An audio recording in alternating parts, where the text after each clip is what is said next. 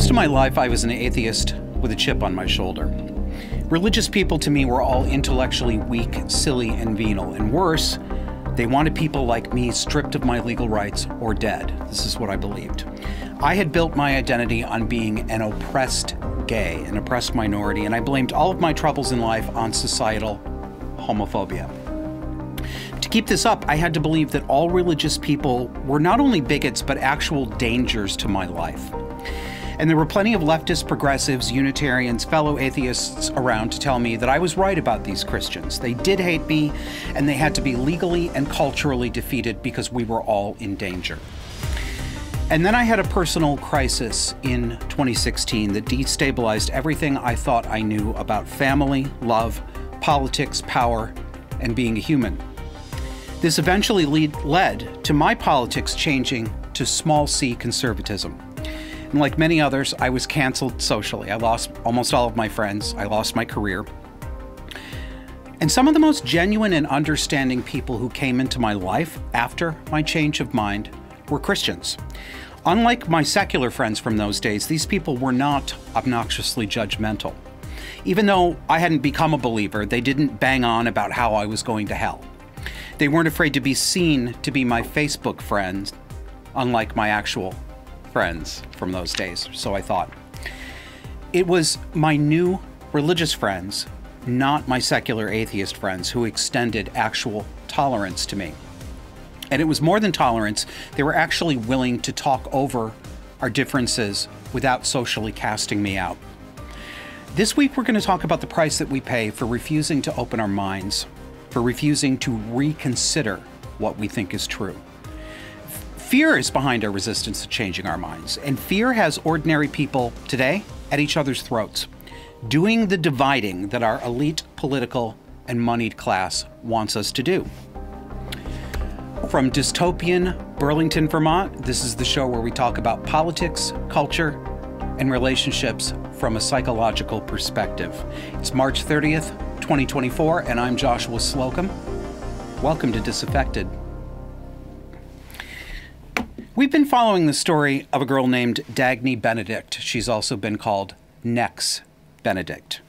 She's the 16 year old girl from Oklahoma who we now know killed herself.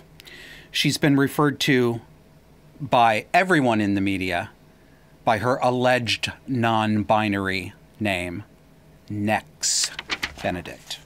You will recall that the media and LGBTQ organizations and activists claimed that other girls in her high school bathroom beat her up, Dagny, and that she died because of non binary bigotry, phobia, and hate.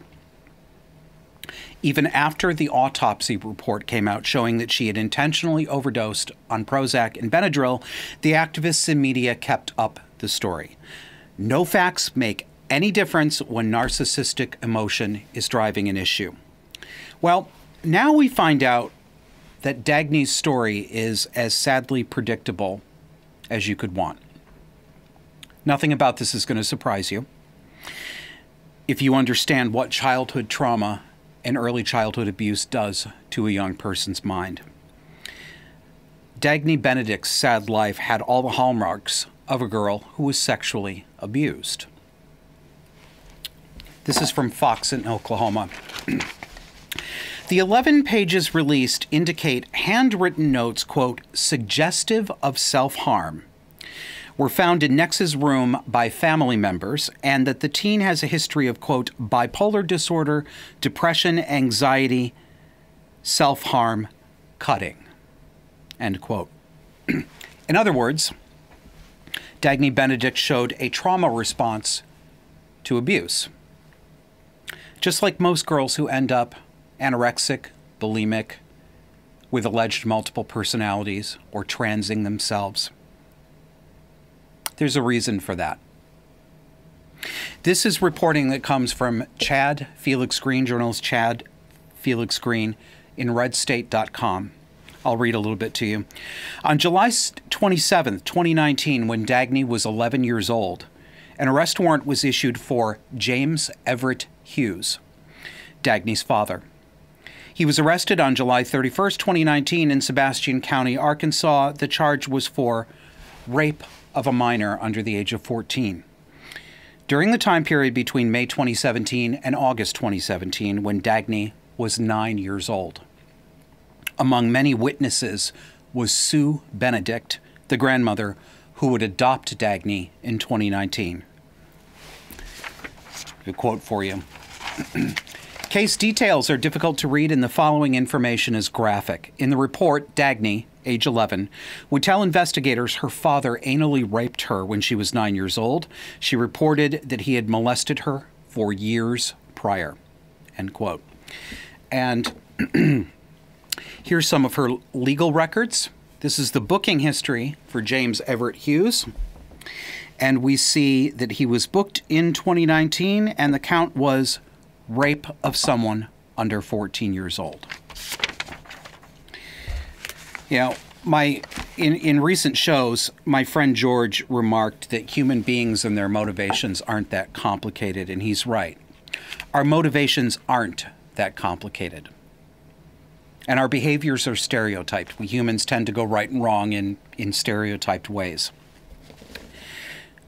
And so it is with Dagny Benedict. It wasn't bigotry that killed her. It wasn't non binary phobia, and it wasn't state legislation encouraging anti LGBTQ hate, as we hear endlessly. it was family abuse. It was cluster B. Now, there's no popular fiction as powerful as the myth of transgenderism. It's the most extreme symptom of underlying woke ideology. Did you ever think that people would become convinced that men and women aren't actually real? Did you ever imagine that we'd cut children's chests and crotches up and call that loving and affirming healthcare? The most grotesque fairy tales cannot approach the brutality of the real world that we live in in the 21st century. At bottom, woke is disconnection from reality. I suspect a great number of people, woke people, know deep down somewhere that they're in a delusion. But if they're like I was, they can't stop juggling these platters full of lies. Because that would force them to confront the lie that they've been participating in, and that's emotionally difficult.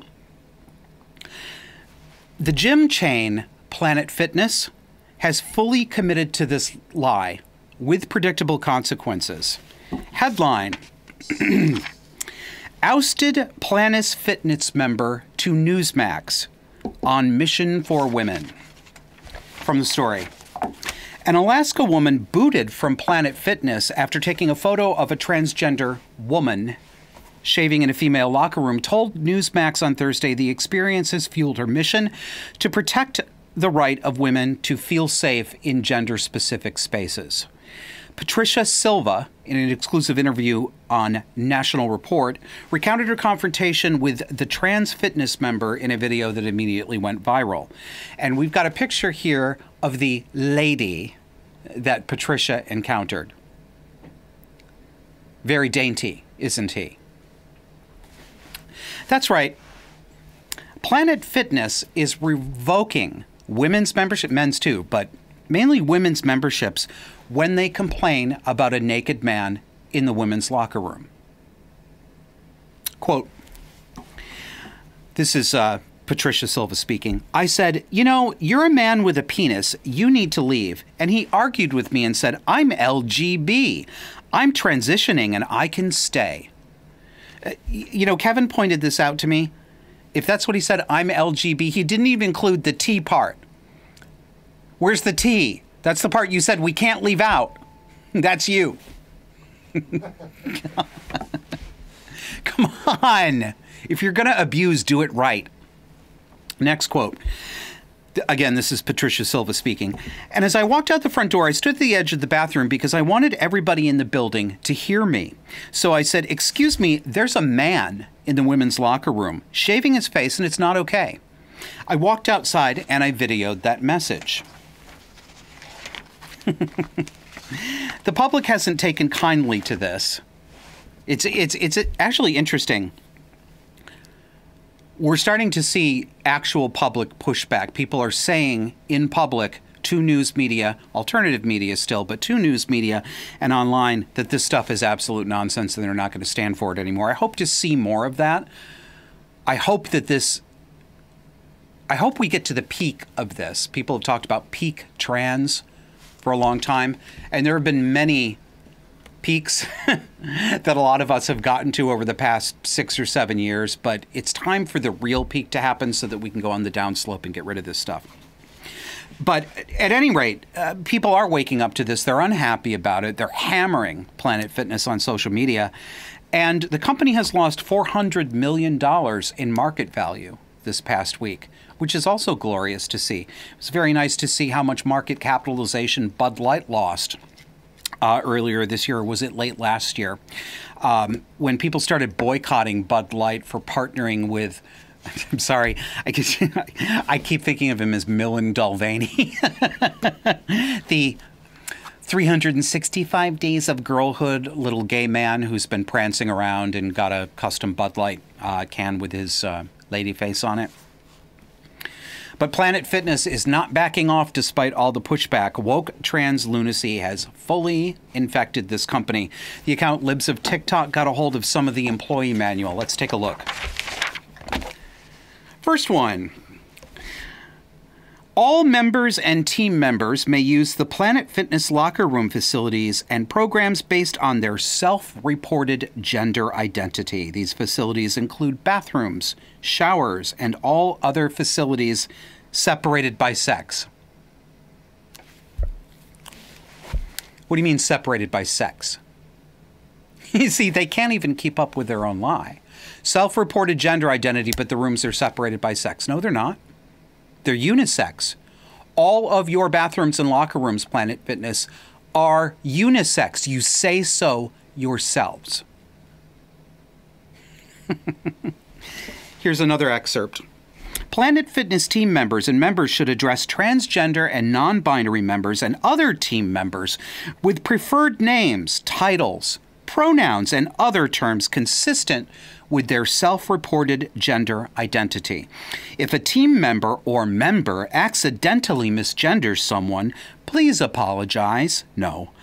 Ask the member or team member for their preferred pronouns and use those going forward. I'm so sick of that phrase. Going forward. Do you know what I hate even more than that? Going forward. Forward. There's an R in there. But don't say going forward. Thank you. you got to use not only their pronouns, but their preferred titles. So if I say that I'm Marie of Romania, you have to call me Your Grace. You have to. It's Planet Fitness rules. One more excerpt. Planet Fitness reserves the right to take appropriate action up to and including termination of a person's membership or employment immediately for any violation of this policy or club rule. It is cluster B to the core. Service the narcissist. Do what the narcissist tells you to do. Don't believe your lying eyes. If you don't repeat the lie, you'll force me to take away all your nice things. You wouldn't want that, would you? Narcissistic abuse can turn a target into a recruit turn somebody into a flying monkey who does the dirty work of the disordered. But it can also radicalize people. We'll leave off here with uh, one more quote from Patricia Silva. What are my rights? Silva said. I would like an investigation over this man walking in Planet Fitness and with the authority to go into the bathroom without any validation that he is a man or female. And they basically told me I had no rights, that he has every right because he identifies as a girl. I took that picture to show the community I was bringing awareness to Fairbanks, Fairbanks, Alaska. All right. Coming up on a break. And as you know, we don't have advertisers, but we do have you, our loyal audience. Will you help us make the show? If you want to contribute, throw a few bucks into the tip jar and you just want to do a one off, we would love it and appreciate it. Visit disaffected.com and click on support us. Put in a buck, five bucks, 10 bucks, 30 bucks, a million dollars. Do you want to become a regular supporting member and get access to our private Discord chat server full of fellow disaffectants? There's two ways to do it. You can sign up and become a monthly supporter at disaffectedpod.substack.com or hop over to subscribestar.com slash disaffected. We'll see you after the break.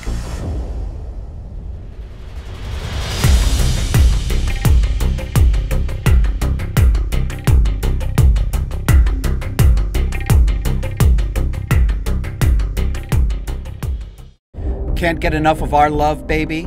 That's because you're not subscribed. Move that thumb over to the great big old subscribe button on your podcast app so you never miss an episode. We put out audio only exclusive content that you won't get on any other video platform, so make sure you subscribe today.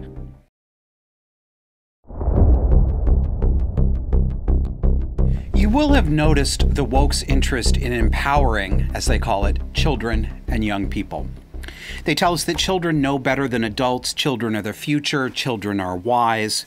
They assure us that children can know accurately that they're not the sex that they actually are, and that those same children can consent to having their bodies chemically and surgically mutilated and permanently sterilized so that they can never make the choice to have their own children later in life when they're adults. And this is because woke is Marxist communism. And communism relies on recruiting youth, setting children against their parents and against adults, inverting the hierarchy, is how collectivists accomplish their very adult goals of political domination. The left takes a similar approach to illegal aliens. Like children, illegal aliens are not qualified to be steering government. Isn't that obvious? But for the woke, that's what makes them the most qualified. Here's a story from the Fox News affiliate in Washington, D.C. A federal judge on Thursday tossed a conservative legal group's lawsuit against a controversial Washington, D.C. law that allows non citizens, including illegal immigrants and foreign embassy staff members, to vote in municipal elections.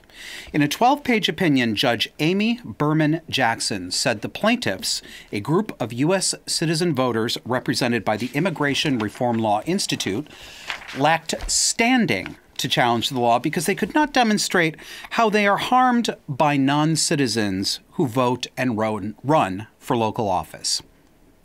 so, this DC law municipal law allows illegal aliens to vote, not just immigrants, not just legal immigrants, but actual border jumpers. And apparently allows them to run for office too. You know, it's it's already beyond the pale that we have political bodies and municipalities that are even floating the idea that non-citizens ought to be able to vote or to run for office. I mean, it's already gone too far. But here we are trying to put the genie back in the bottle, and our courts are relying heavily on the concept of standing to throw out lawsuits that they don't want to have to consider and they don't want to have to decide the right way.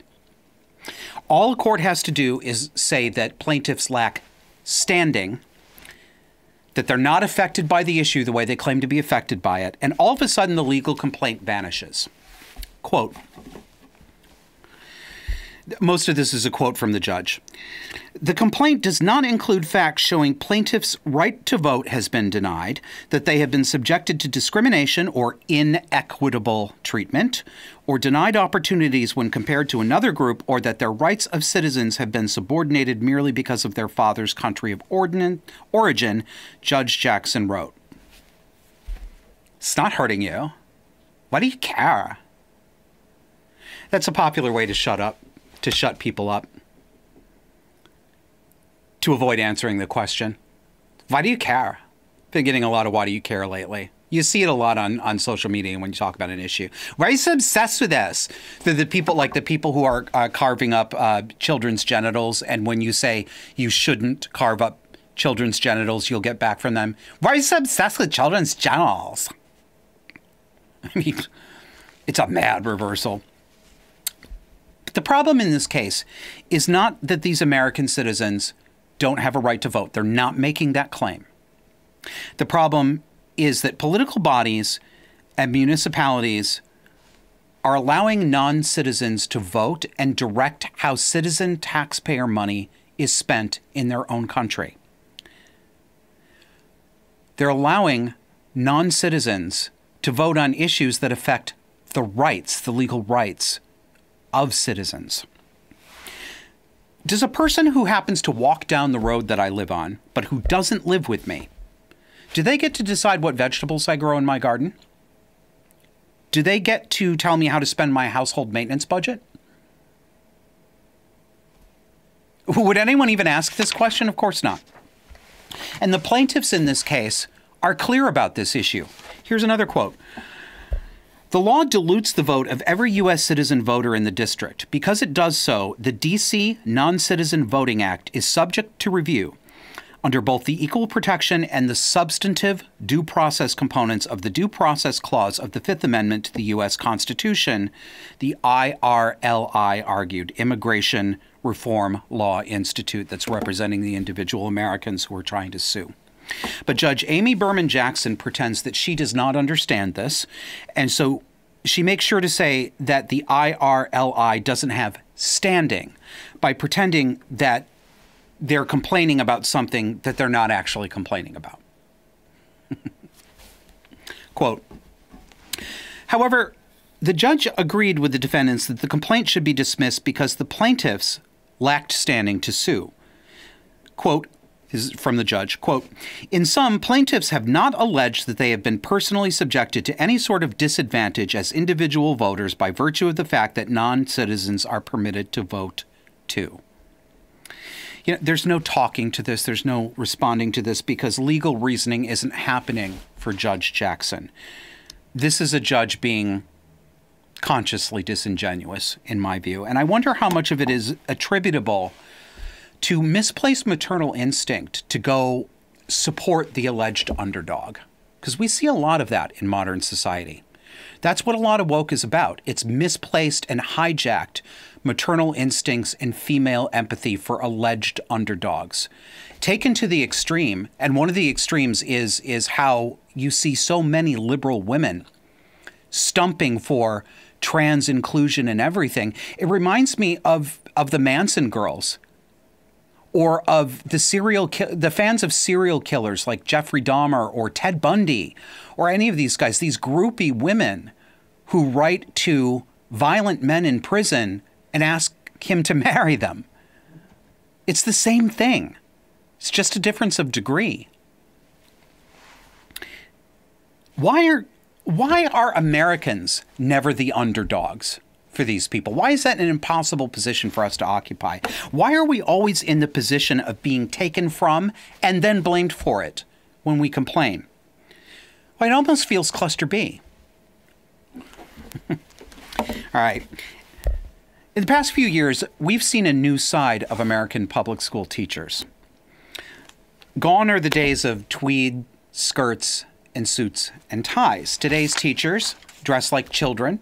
They put metal all over their faces. They dye their hair blue or pink. And they talk to primary school students about their sexualities. If we hadn't seen this with our own eyes, I don't think we'd believe it. We've got female teachers with OnlyFans accounts taking their clothes off online for money, then acting shocked when they get fired from their teaching jobs. And they are shocked. These women seem to genuinely believe that they have done nothing wrong. And why wouldn't they believe that? They've grown up in a world where there are no boundaries at all between public and private, where their demands are met with instant compliance, and where they've been told that being a whore is a respectable profession. Sex work is work, isn't it? That's what happens when you use the term sex worker instead of prostitute. You are helping woke. You're doing woke's job. Please don't use that phrase. It's prostitute or whore, sex worker. So, given all that, why wouldn't Detroit teacher Dominique Brown think that she could be a gangsta rapper on the side. She's a uh, She's an elementary school teacher, or no, high school teacher, excuse me. This comes from the Daily Mail. A high school history teacher from Detroit lost her job after parents complained about her side hustle as a rapper and is now planning to take legal action against the school. Dominique Brown, 32, was named Teacher of the Month in December at Taylor Preparatory High School in Detroit, Michigan. However, the history teacher had to defend her extracurricular rap career to the school for five months after a parent anonymously filed a complaint in October 2023. We have a picture of the lovely Miss Brown. Here she is. For those of you who are listening on audio, she's got her mouth, eh, she's got blowjob mouth, you know. Dick goes here. That's what that is. And she's looking over her shoulder with her ass sticking toward the camera. Oh, you want to know her rap name? It's Drippin' Honey. Drippin', not dripping, drippin' honey. Take a listen.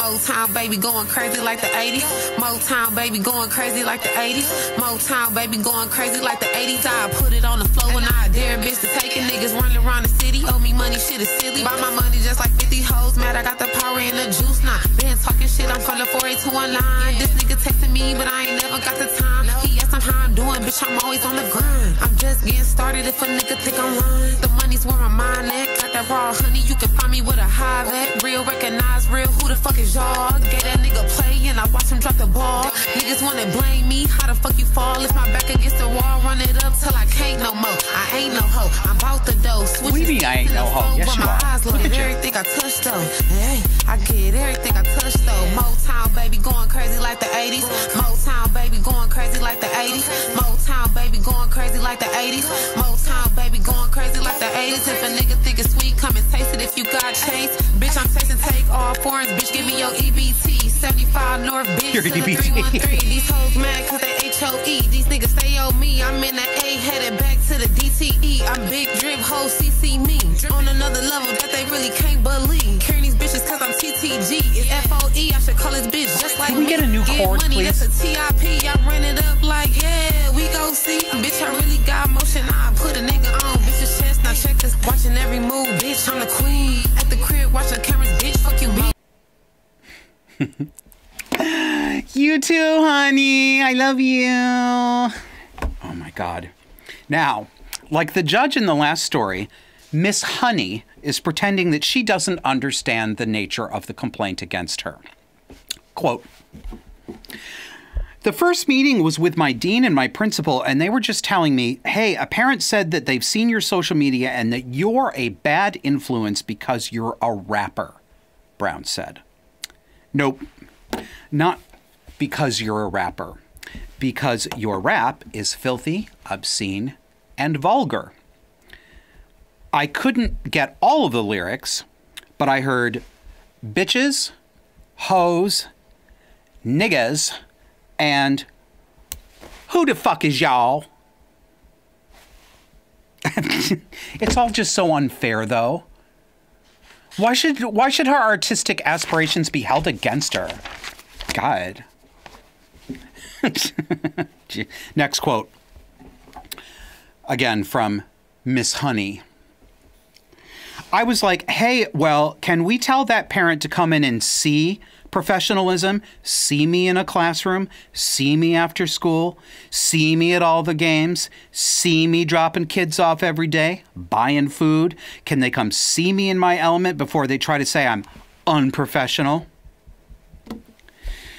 Can someone please get Miss Honey a drip pan? Thank you. Now, my therapist once asked me in a conversation what quality was commonly found commonly among people with personality disorders.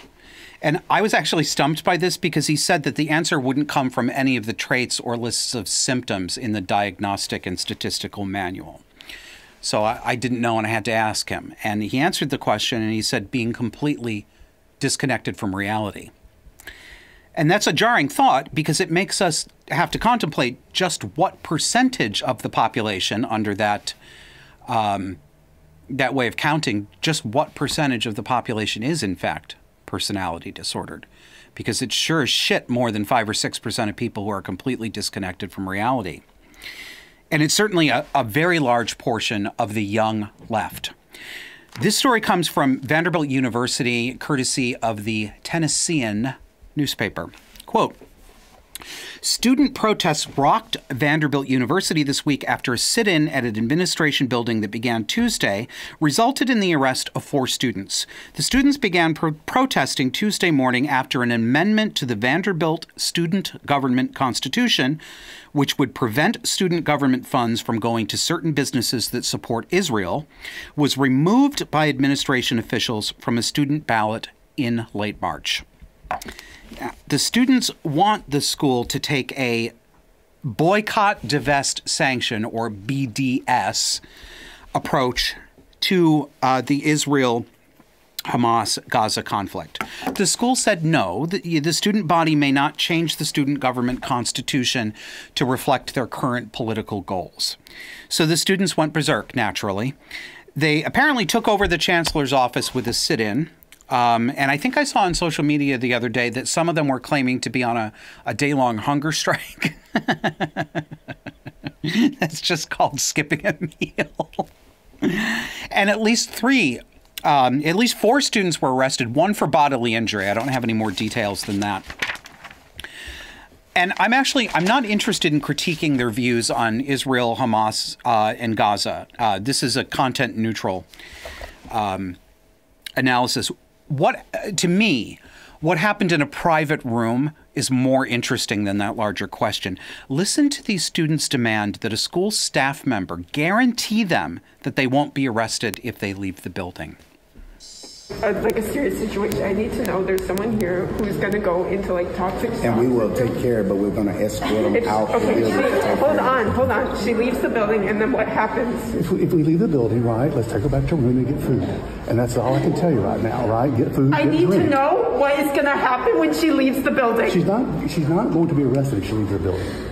Okay, 100%. So we will not be don't you say that arrested as soon as we leave the building. No, no, no, if you no, you're not going to be arrested as soon as you leave the building, right? If you want to go back and get, I don't know. If, if I knew, I would tell you. Why don't you because I don't know. Okay, who the hell can we call? So who knows? Right. Well, I, I, I don't know yet. All I know is, all I know, all I know is, if we have somebody that's a medical situation, let's get them the medical attention they need. Oh let's get her to her room, right? And I'm telling you, when you go out the room, you're not going to be arrested for leaving the building. She does not feel safe. You have verified nothing for her. Mm. All you verified- said If- All you sent is a letter. She's not arrested. If she goes to her room, she is arrested. That's not what I said. No, it's that. That is not what I said. You said. said she could not stay That's in her not room. what I said. You didn't say she could stay in her room, though. What I, what I can you have verified nothing for her. When did that become normal? There's someone here who's going to go into toxic shock if she can't get to the bathroom. This young woman actually said that someone is going to get toxic shock syndrome if they don't let her go to the bathroom and change her tampon right now.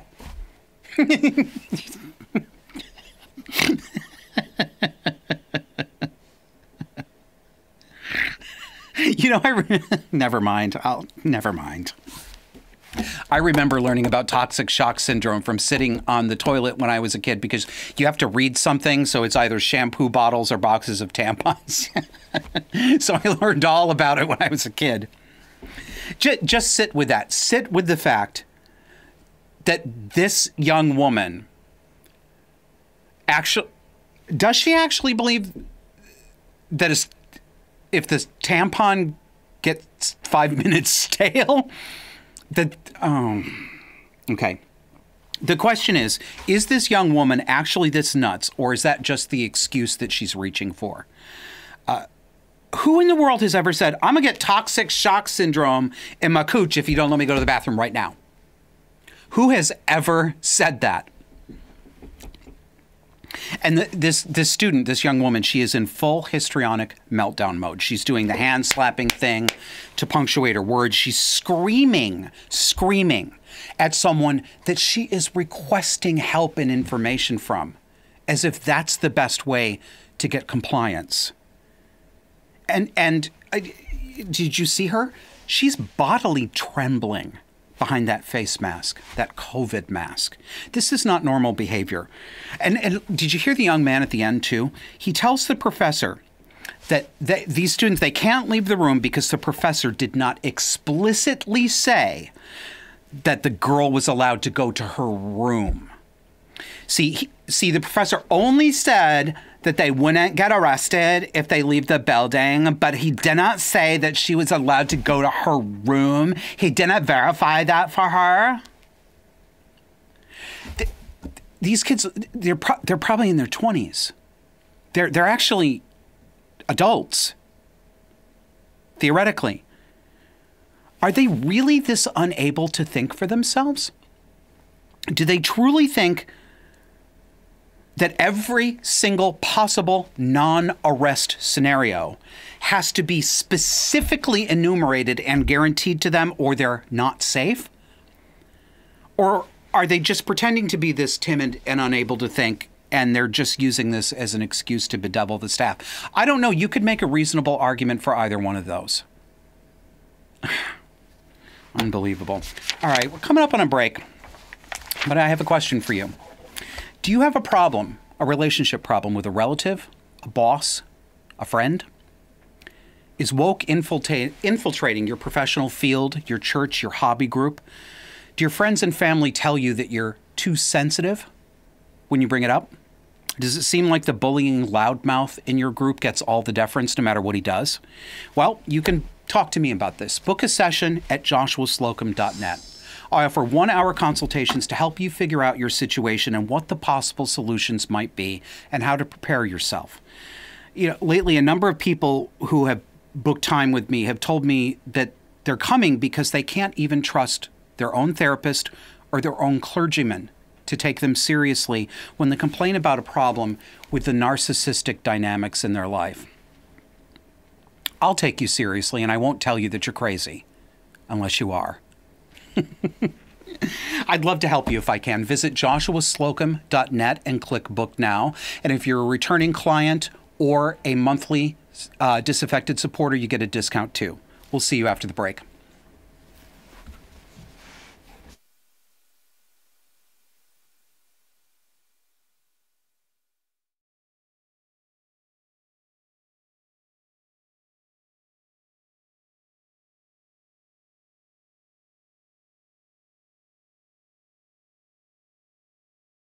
Can't get enough of our love, baby?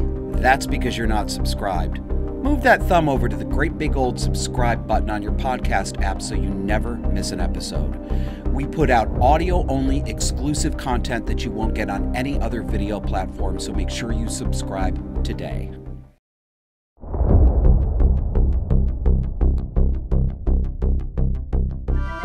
Ladies and gentlemen and eunuchs, it is time once again for the segment Popoli du Mokoli, where we roast the skin of everyone. Let's go. No, not my eyeballs. My balls. You know, down there, the danglers. Yeah, I had them removed in 2018. It's called an orchiectomy. As I consider myself to be a genderless dragon, and I will at some point get a full penectomy, and I will have no gender, no genitalia to identify my gender. I love that. Yeah. Bye bye, balls. Bye bye. It's been nice loving you. Bye bye, balls. yeah, no, yeah, bye bye. Okay, bye bye now. Bye bye. If you're wondering if this is cluster B, it is. this, I know you've seen this lizard guy before. I, I almost, I, I, I, I was at war with myself over including this in Potpourri de Mockery because he is, he's so crazy. I almost feel bad making fun of him, but not really. I'll tell you what this reminds me of more than anything. Do you remember that scene in The Exorcist when uh, Regan, the little girl who was possessed, is um, I think she's downstairs at the dinner party, and she all of a sudden she just she gets a notion that she's gonna snake out to people, so she's all like she starts looking. She gets down on the on the floor and goes.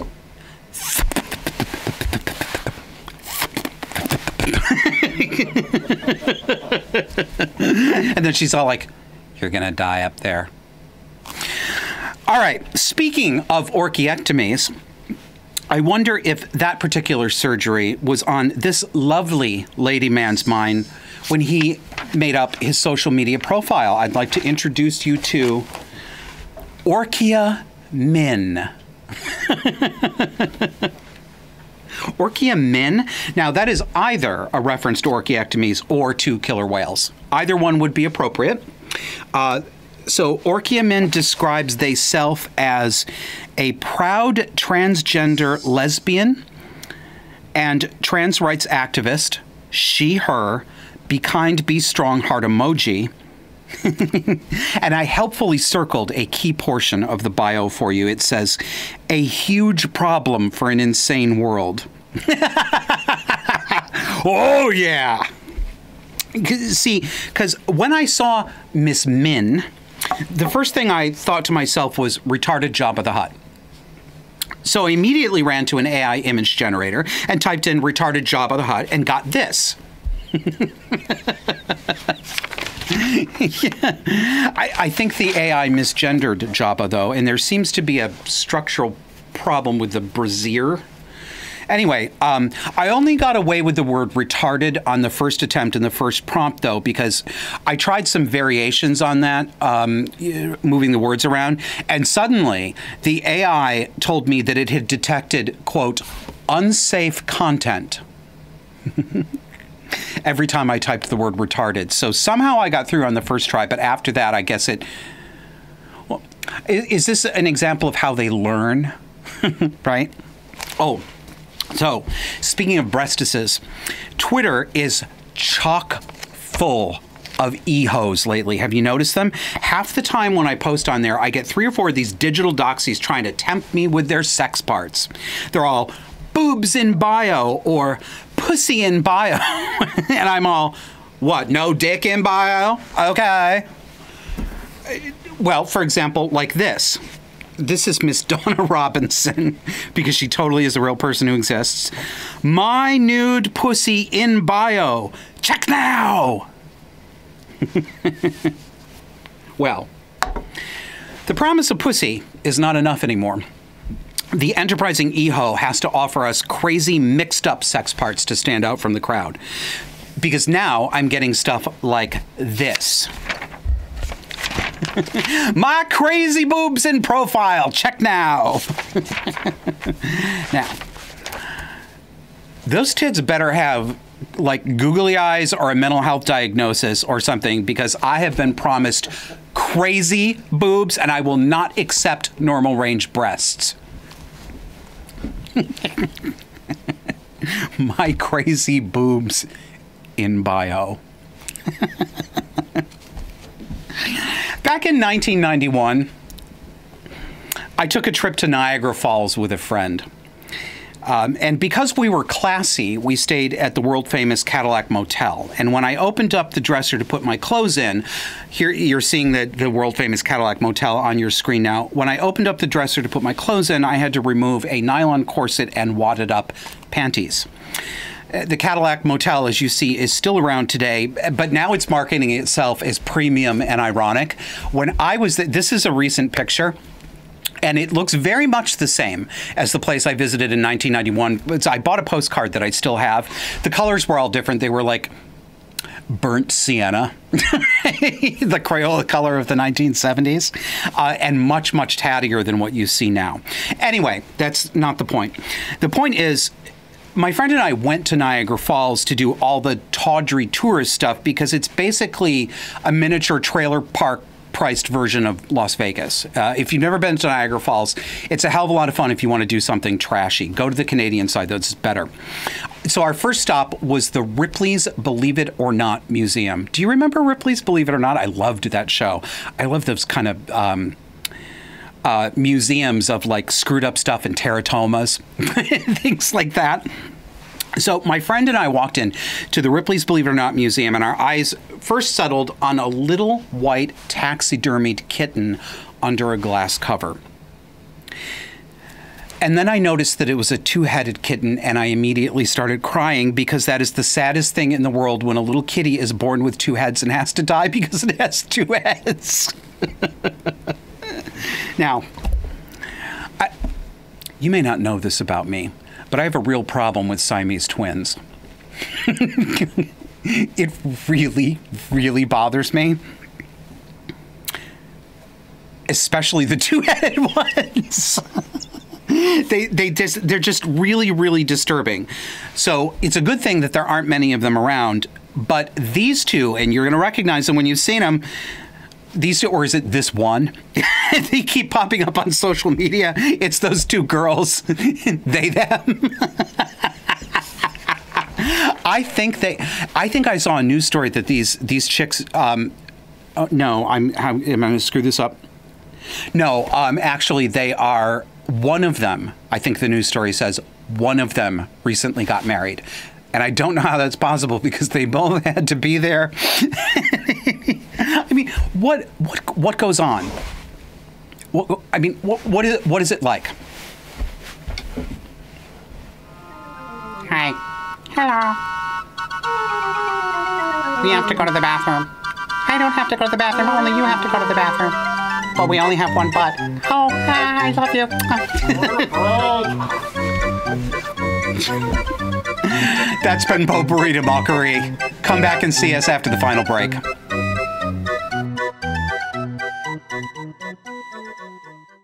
Can't get enough of our love, baby? That's because you're not subscribed. Move that thumb over to the great big old subscribe button on your podcast app so you never miss an episode. We put out audio only exclusive content that you won't get on any other video platform, so make sure you subscribe today.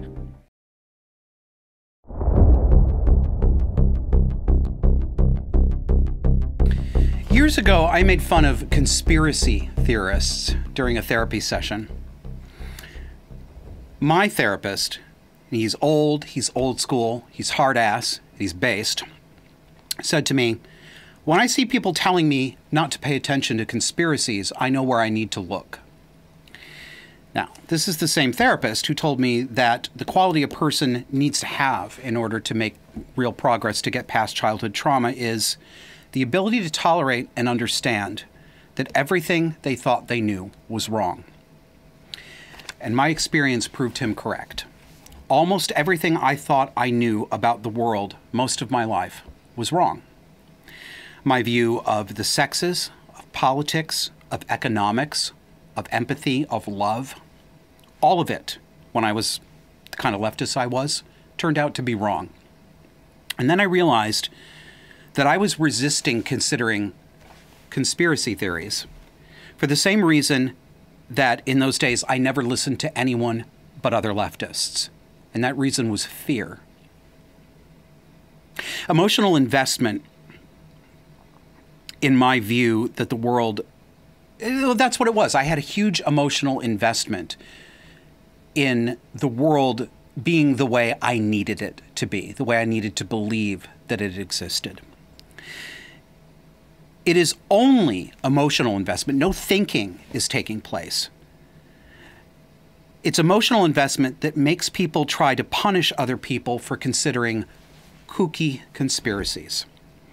The facts of the world demonstrate that our governments and our media do lie to us and they do perform false flags. So, yes, I will entertain so called conspiracy theories about lots of things. That doesn't mean that I'll be convinced by all of them. I won't be, but I will be convinced by some of them. And in trying to understand the motivation of people who want to shut down talk about so called conspiracy theories, uh, it's not clear to me. You'll have to decide the degree to which I'm I'm actually empathizing and understanding where people come from and the degree to which I might be projecting. It's it's some of both, I'm sure.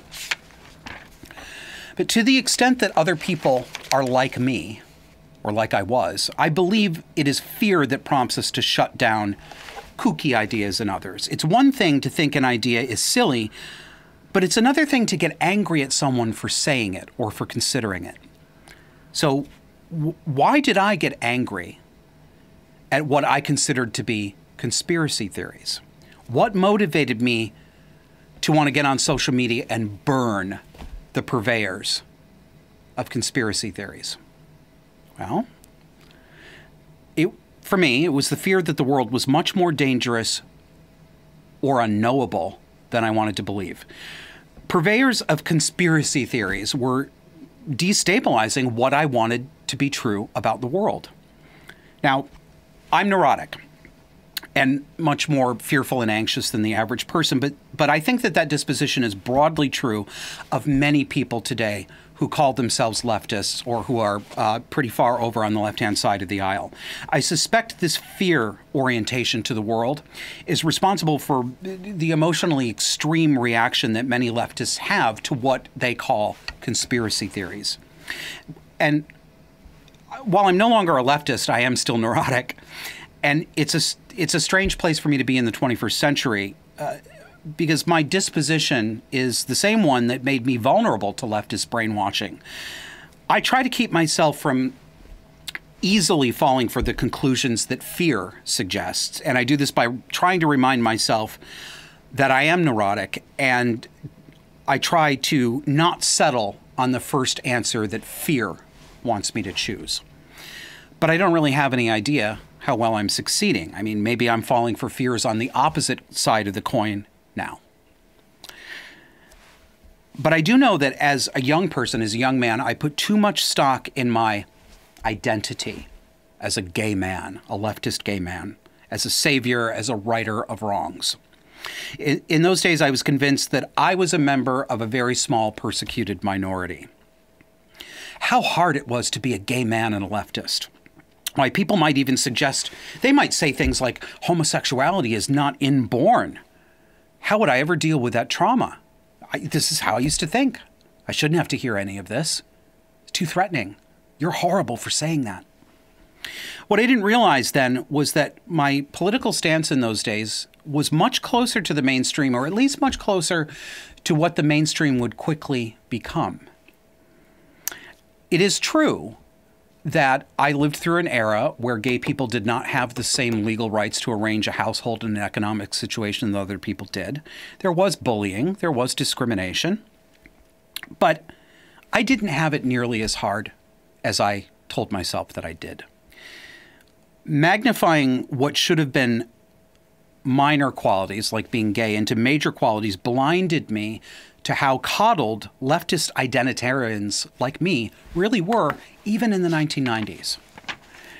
So today I look back and I laugh, I kind of shake my head. I thought I was an iconoclast who was speaking up so bravely.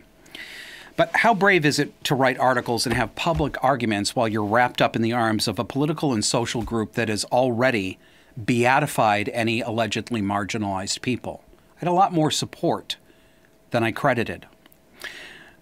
But here's a spot where I can't separate my perception from reality. Today, it feels more dangerous to me to say the things that I believe today than it felt to say the things I believed when I was a leftist activist in my youth. Being a former leftist who turned conservative, um, especially as a gay person, today feels lonelier and more precarious than I remember feeling when I was young. Um, I'm, I'm curious. Leave leave a comment underneath this. What what has it been like for you? If you've gone from left to right, what's been your experience? Like mine or something different? They say that age brings wisdom and clarity, and I think that's true, but it can also bring confusion. There are some things I've changed my mind about and that I believe I understand more truthfully than I was able to do when I was young. But there are just as many things that I'm more confused about and less confident about today than I would have been 20 years ago. And that's because I've seen, and you have seen, levels of evil that we had not experienced personally before the past five years or so. We've seen that the government and its institutions are capable of consciously lying about an alleged pandemic in order to suspend constitutional rights. Uh, there's no need for a long list of these items, it is a long list. And the COVID pandemic is just the most extreme and salient example of that. This changed me, and it changed millions of people, changed a lot of people who are watching this right now. It reset our rules of thumb and our measuring sticks for what could be true and false about the world that we thought existed. After what I've seen, I can't write off conspiracy theories easily the way I used to. I can't be sure that they'd never do that because they have done that. The loss of illusory certainty is difficult for us. It provokes fear and anxiety, and more than that, it shows us how limited our certainty and our knowledge really is. For example, take the recent crashing of a ship into the Francis Scott Key Bridge, the motorway in Baltimore, Maryland. Many people um, this week had been sorting themselves into sides of that question immediately regarding what the cause of the crash was. Now, remember, none of us know the cause, and we have no good reason to believe that any official spokesperson who's making a statement within a day of the incident about that statement, we have no reason to believe that he knows the deep cause either. We live in a world in which our governments or their companion entities and fellow travelers are willing to and capable of destroying ideas or physical infrastructure to achieve power goals. But we also live in a world in which ships are complicated machines that can have wiring problems and find themselves pulled along by dangerous water currents. That's also true. so, was this an accident? Was it sabotage? Was it a cyber attack? I don't know. You don't know. But I do know that the commentators who were calling people stupid and gullible for entertaining that sabotage may have caused the crash, they had no good reason to do that. These people assume a priori that it is extreme and unreasonable to hypothesize anything but an accident. And then they leap to calling those of us who will entertain an alternative theory ridiculous or hysterical these commentators are not doing this because they're wiser or they have greater access to the truth than you or I do. They're doing it because it causes them existential fear to ponder that it may be just as reasonable to suspect a false flag as a frayed wire. 20 years ago, I would have been one of those commentators. I would have been calling people silly and ridiculous. I believed that the US government was basically sane and stable and beset by bad apples, not endemic dry rot. Well, today I believe the political system is corrupt and evil to a degree that I would not have entertained decades ago. Knocking on the door of 50 years old this year, I've ended up simultaneously more and less certain about countless things. And it isn't always clear to me whether I've gotten any closer to the truth. What's it been like for you? That's the show. Thanks for watching and listening. We'll see you next week.